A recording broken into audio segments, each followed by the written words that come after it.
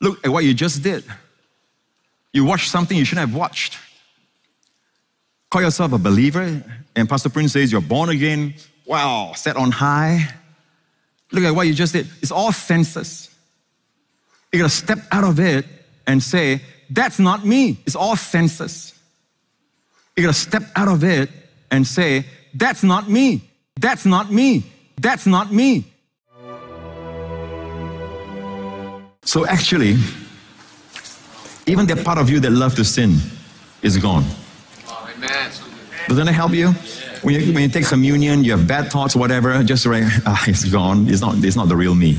But some of us, we are shocked by even the thoughts. While we are praying, we get a blasphemous thought, a profane thought. It's not you. Lord. Amen. It's not you. The devil say, no, it's you. It's not you. You are not in the flesh, but in the spirit. Identify with the real you that God identifies with. Has God made provision for us. Indeed, He has. Hallelujah. Amen. Like the Apostle Paul, he was struggling in this struggle and he was saying, You know, uh, the good I want to do, I do it not. But the evil I don't want to do, I am doing.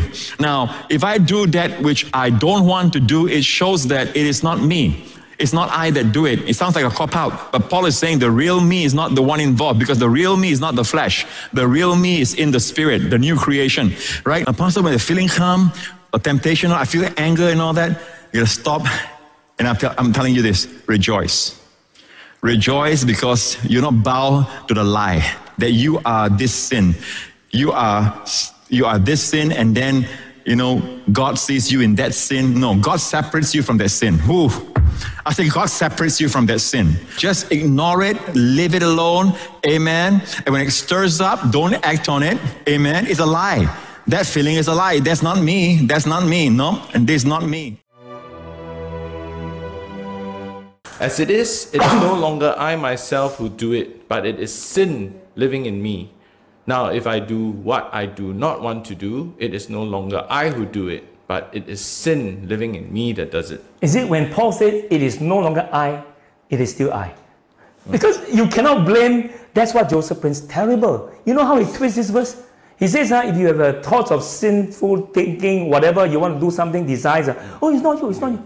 No, you. Who is the real you? You're the righteousness of God in Christ. That's the real you. You know, God sees us, He only sees Christ in us. He doesn't see the sin in us. So when you think bad thoughts or bad desires, you know, you know, you know, it's not you, it's your flesh, it's your old man.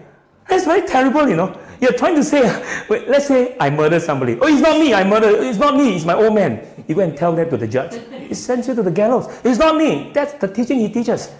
Hmm. It's not, not you. You are the you are in you're the righteousness of you're saved already, ma. You are forever saved. You cannot lose your salvation. That's the real you. That's your new identity. Then when you say, no, no, that's not that's the old man, that's your flesh. That's very dangerous.